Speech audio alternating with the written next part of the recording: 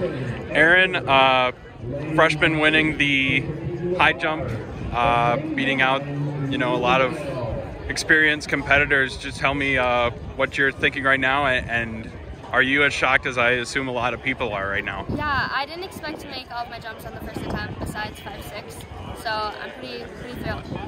I saw you were uh, celebrating with someone, a lot of people over here from Westby. Just talk yeah. to me about how having all those people here uh, kind of motivated you and helped you uh, win this. Yeah, my family's always been super supportive and they've been at all of my meets, so it just meant a lot that they were there.